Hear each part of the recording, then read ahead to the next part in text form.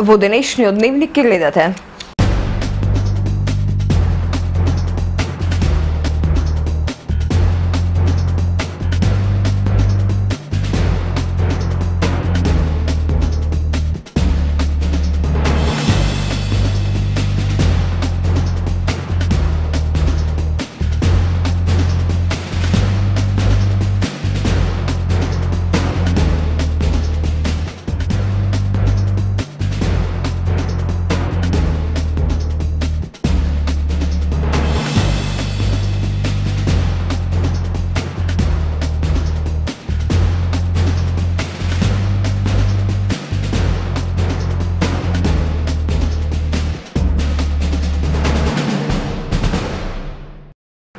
Следува временската прогноза.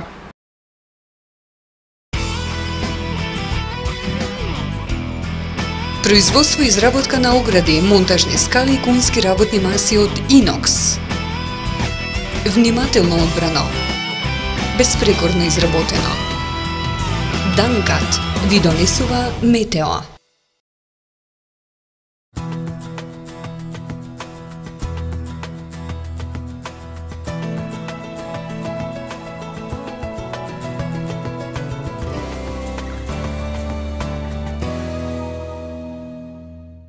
Денес во Охрид имавме умерено облачно време со сончеви периоди. Максималната дневна температура изнесуваше 27 степени Целзиусови, а притисокот 1017 хектопаскали. Утре во поголем дел од Европа ќе биде умерено облачно и нестабилно со врнежи од дошт и ветровито.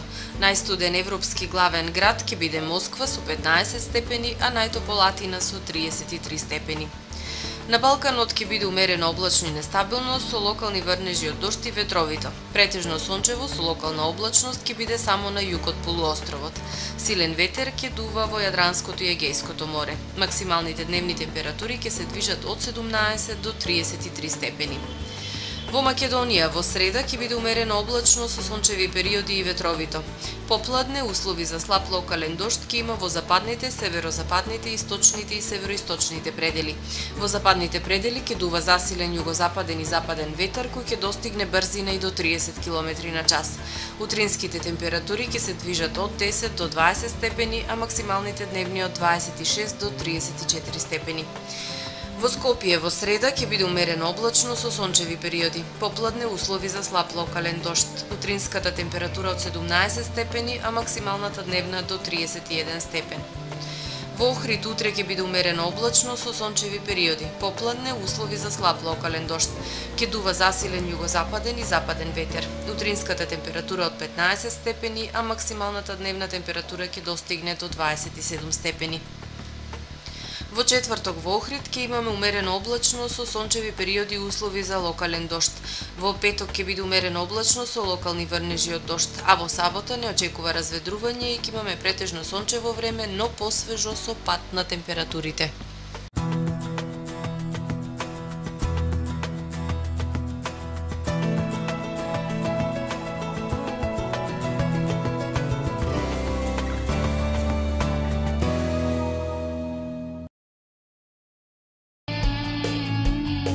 Производство и монтажа на инокс огради, монтажни скали и кунски работни маси од нерагисувачки челик. Данкат, ваш партнер, село Мислешево, Струга.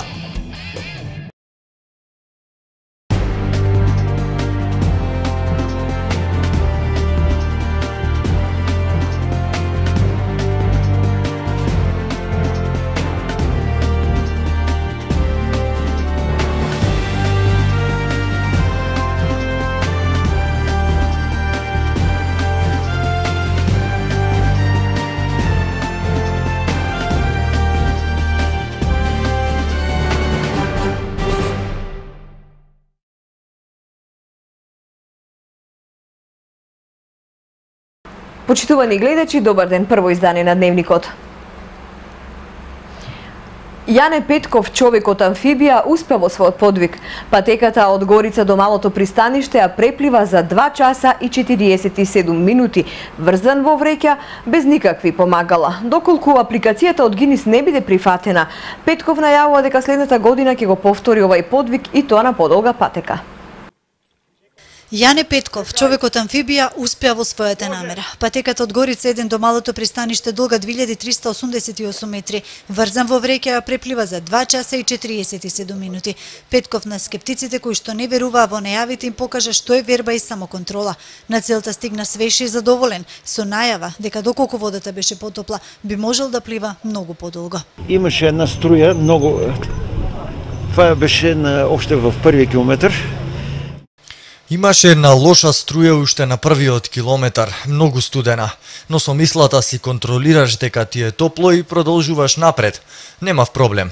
Ако беше потопла водата, ќе препливав многу повеќе, 5-10 километри, но тоа ќе го направам следната година. Сега ќе чекаме од Гинис. Ова е за Гинис. Ова е спортско-медицински потфат со понизок хемоглобин и железо во крвта да се издржи на студена вода. Тоа медицината не би можела да го објасни ако не е запознаена со науката на дишење и енергијата на мислата.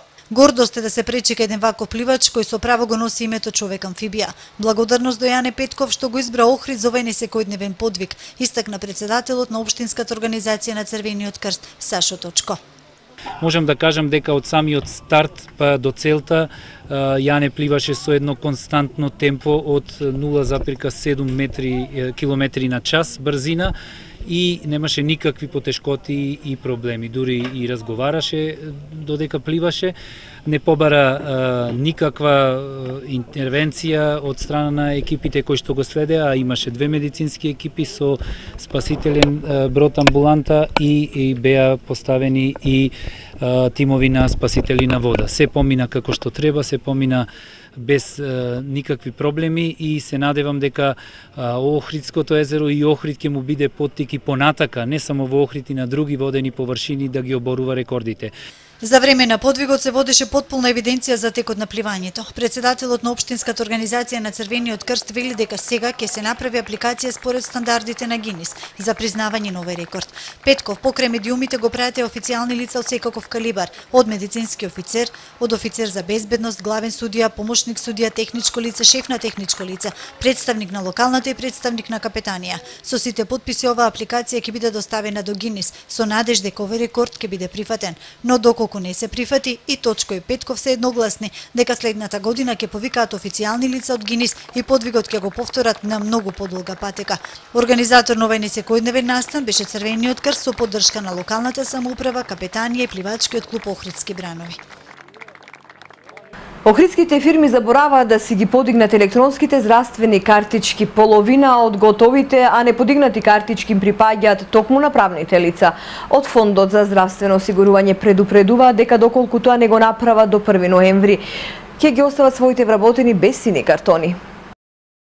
Фирмите во Охрид доцнат со подигнувањето на електронските здравствени картички за своите вработени.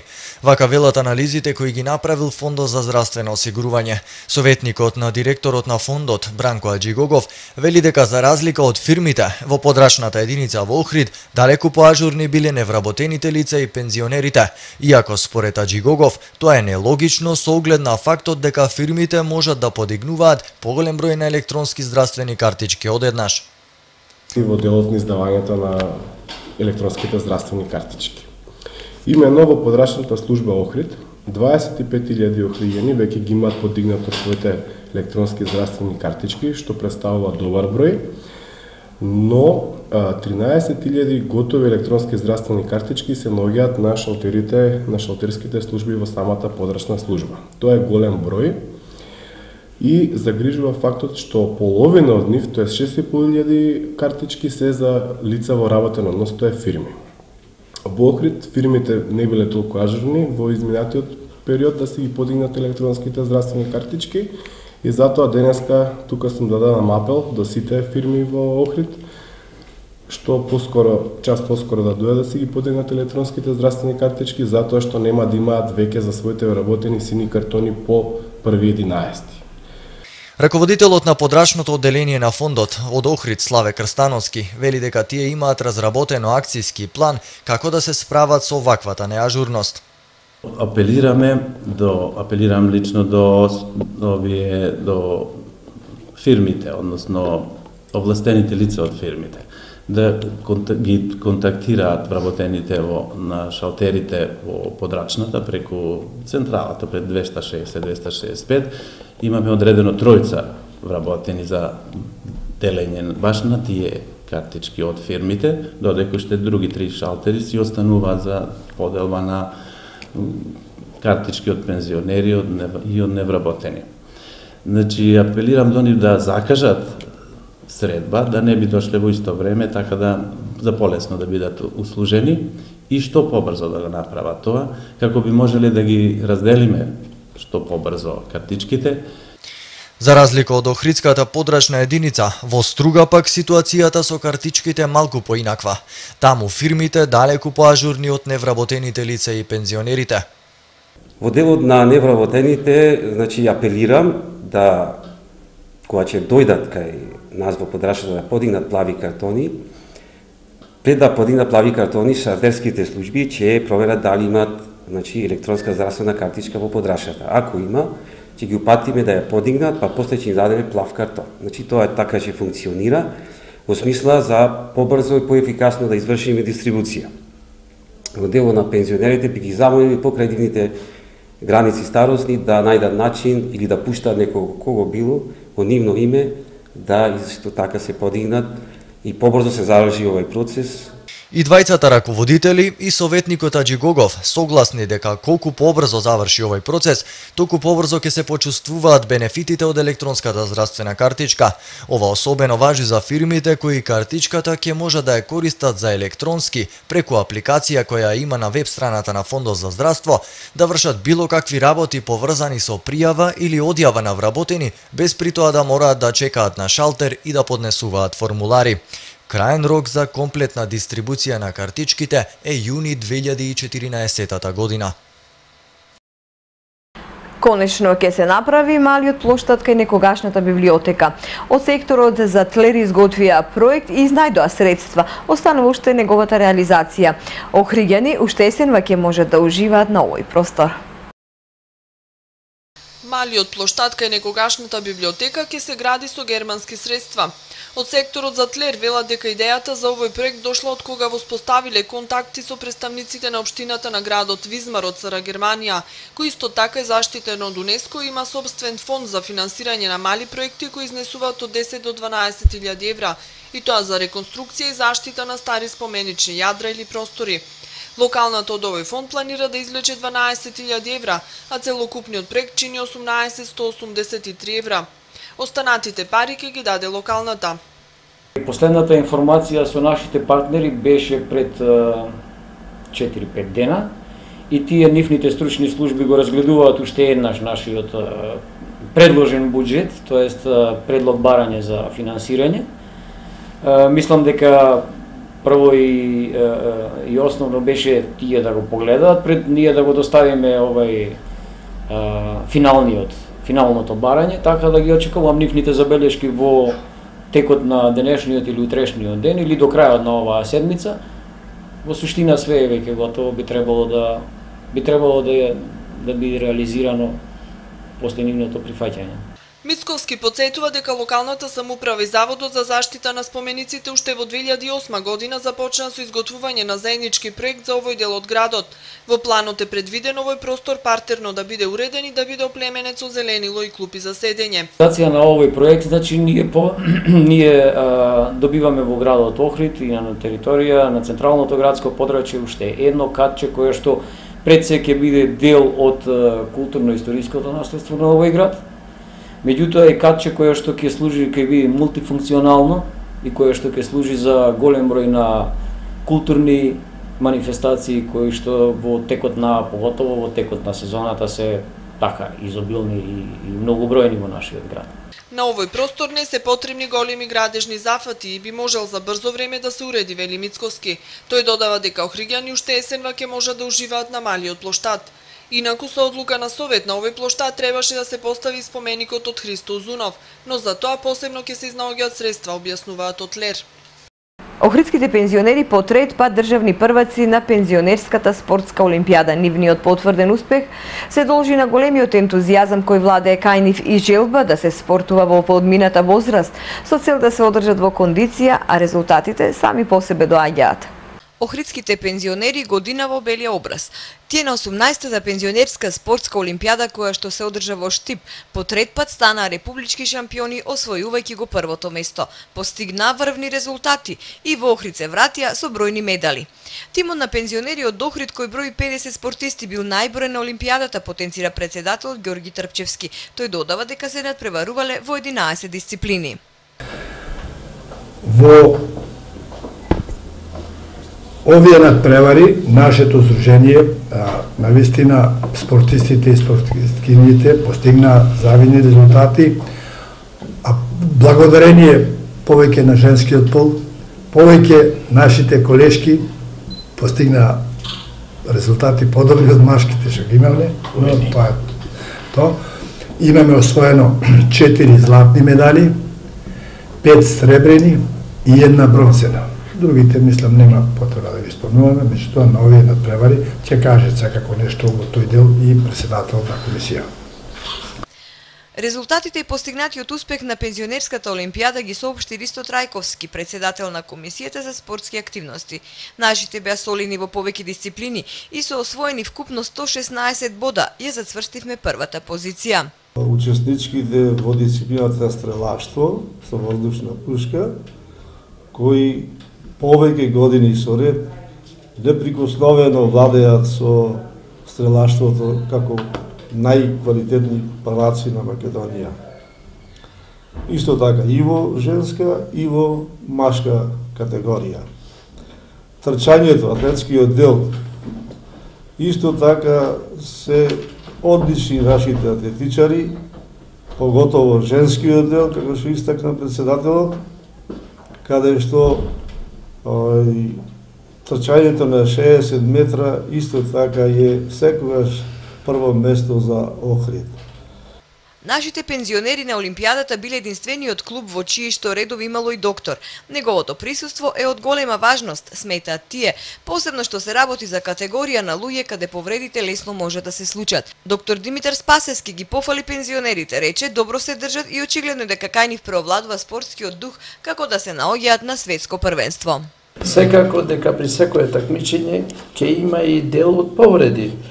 Е, вамо ние во Штип имавме овај три повреди кај што интервениравме лично од наше воздружение и така натаму, меѓутоа тие да не спомнувам за други ние интервениравме благодарение што тие повреди беа лесни, телесни повреди кои нема последици по тоа. Ипак терените беа такви, малце тревнати, то се лизна, падна, али добро е се сврши.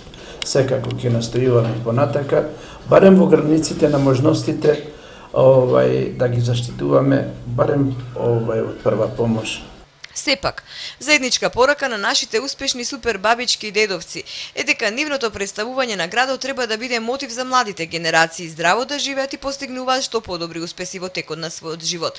Пензионерите спортисти очекуваат средба со охридскиот градоначалник Никола Бакрачевски, за да му се пофалат со резултатот со кој се гордеат.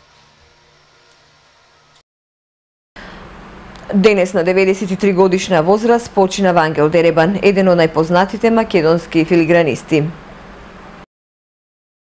Згасна животот на Вангел Деребан, еден од најпознатите македонски којунџи. Роден во далечната 1920 година во Струга, тој продолжува неколку вековната фамилиарна којунџиска традиција и го развива охридското филингранство.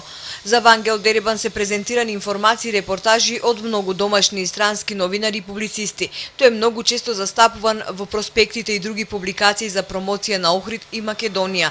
Добитник е и на престижната Свети Климентова награда во Охрид. По повод утрешната посета на председателот на Република Полска господинот Бронислав Комаровски на Охрид, секторот за внатрешни работи Охрид презема и реализира одредени необходни мерки заради безбедно одвивање на планираните и најавените средби со македонскиот председател господинот Ѓорѓе Иванов. Со цел безбедно движење на возилата под придружба, привремено ќе биде ограничено движењето на моторни и друг вид на возила со физичко регулирање на сообраќајот и писмени предупредувања на сите паркирани патнички и други други моторни возила по должината на булеварот Туристичка и во стариот дел на градот. На овај, но и на неколку други собраќајници нема да биде дозволено запирање или паркирање на моторните возила. Предвидено отстранување на неправилно паркираните патнички и друг вид моторни возила, како и на оставени предмети по собраќајните површини.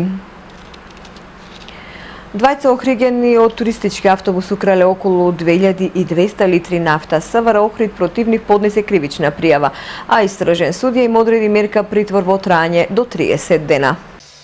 Поради постоење на основи на сомнение за сторени вкупно 15 казнени дела тешка кражба, СВР Охрид поднесе кривична пријава против лицата ПП 24 годишен и ДН 31 годишен од Охрид. На нив истражен судија им одреди мерка притвор во трајање до 30 дена.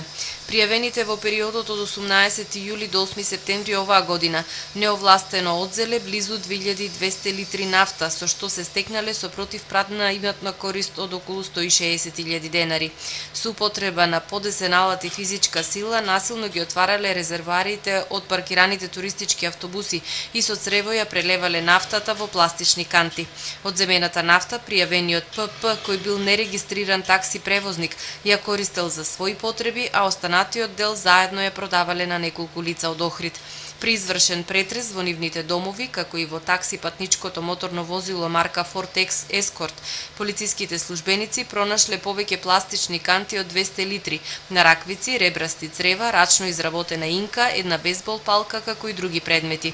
Тие се одземени и се предадени на вештачење во Министерството за внатрешни работи во Скопје. Пријавените се лица познати на службата против кои по разни основи и досега се поднесувани кривични пријави.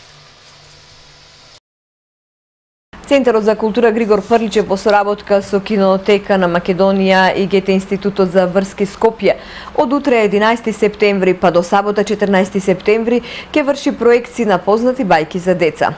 Најмладите ќе имаат можност да уживаат во авантурите на своите анимирани херои Мачорот во чизми, Златнокоса, Храбриот кројач, Кралот жаба и Трнорушка. Проекциите започнуваат во 19 часот, а влезот чини 60 денари. Да ги погледнеме и вестите од светот, еве што беше актуелно денес. При судир на два меѓуградски автобуси во близина на Техеран загинале најмалку 44 патници, а уште толку се повредени. До несреќата дошло кога возачот на едниот автобус свртел во спротивна насока бидејќи му пукнала гумата и директно се судрил со автобусот кој возел во својата насока. По сударот избил пожари во двата автобуси. Властите објаснуваат дека ова е најголема сообраќајна несреќа во последните неколку години. Иран е една од земјите во светот со најлоша патна инфраструктура и годишно во сообраќајни незгоди умираат повеќе од 20.000 луѓе. Рускиот адвокат Александар Зорин побарал од Истражниот комитет на Руската Федерација да поведе кривично дело против американскиот председател Барак Обама поради планирање и подготвување војна. Според член 353 од кривичниот законник на Руската Федерација кој гласи планирање и подготовка за отпочнување и водење агресивна војна, пренесува РИА Новости. Судското санкционирање на овој член предвидува лишување од слобода до 20 години. Како што додава адвокатот, во рамките на меѓународното право всушност не постоја средства за повикување на одговорност на Обама, бидејќи во 2002 година САД го повлекоа својот подпис од Римскиот статут на Меѓународниот кривичен суд сепак нагласува дека никаква ситуација од каков и да е карактер, било од политички, економски, воен или друг, не може да служи како оправдување за агресија, територијални заземања или други посебни придобивки, како резултат на агресија, не е и не може да биде законска, се вели во барањето на рускиот адвокат. Истражниот комитет треба да даде оцена за дејствата на Обама. Активисти на групите кои се залагаат за независност на Каталонија подготвуваат нов масовен протест низ оваа шпанска провинција во обид за ревитализација на нивната идеја за одцепување од Шпанија. Според замислата на организаторите на протестот треба да се создаде човечки синџир во кој би се нашле преку 400.000 луѓе фатени за раце. Овој синџир од каталонци би се протегал во должина од 400 километри, почнувајќи од шпанско-француската граница и би минувал низ целата територија на Каталонија Македонија, минувајќи низ планини и долини, патишта, плажи, полиња и улици, поврзувајќи 86 населени места и локални заедници. Организаторите велат дека за разнесување на луѓето обезбедиле околу 1000 автобуси од цела Каталонија, како и позајмени од соседните шпански провинции и од Франција. Со создавањето на долгиот човечки синџир, учесниците во оваа демонстрација ќе бараат одржување на референдум за независност во 2014 година. Владата во Мадрид ги отфрла сите планови за независна Каталонија, изјаснувајќи се остро против идејата за организирање референдум. Кинеските мокници и богаташи не се плашат од затворски казни, затоа што многу лесно можат да изнаимат сиромашен човек што има време за губење и малку наликува на нив. Овие луѓе се нарекуваат тишен или двојници луѓе, кои се најмувани од богатите и мокните за да служат затворски казни на место нив. Ова традиција била откриена во јавноста по еден случај од 2009 година, кога 20 годишен богаташ бил осуден на 3 години затвор, иако никогаш не било докажано дека друг човек ја одслужил казната место него. Кинеските власти никогаш не одрекле дека на вистина се случила замена. Според Forbes, во Кина има 122 милиардери и е втора земја во светот по број на милиардери. Во исто време 13% од населението живее со помалку од 1,25 долари долари на ден. Тоа значи дека многу од сиромашните радо би одслужиле нечија казна во замена за пари. Ова е се што подготви информативната редакција за денес. Останете со ТВМ. Пријатно.